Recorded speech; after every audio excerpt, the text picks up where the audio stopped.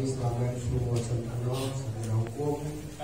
Hadir bersama kita forum koordinasi di daerah dalam ini Kapat Op Polres Banyuasin Bapak Kompol Suharno SH yang kami hormati.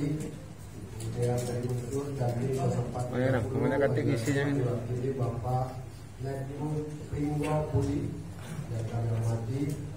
Para asisten selaku koordinator zona satu, dua, tiga, asisten satu, asisten dua, dan asisten tiga, dan kami hormati para staf ahli bupati, para kepala UPD yang hadir secara langsung yang kami hormati atau yang mengakui. Kemudian Bapak pada hari ini para camat se-Kabupaten Banyuasin yang mengikuti secara virtual.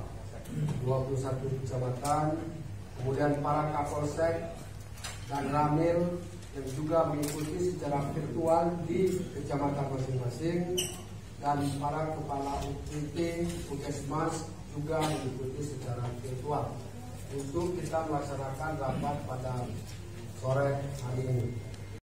Hari ini kita masih sama-sama diberi lingkungan kesehatan dan kesempatan sehingga kita dapat menggelar rapat evaluasi monitoring terhadap percepatan pelaksanaan vaksinasi di akan mengikuti takziah pada malam yang kedua yang akan dilaksanakan pada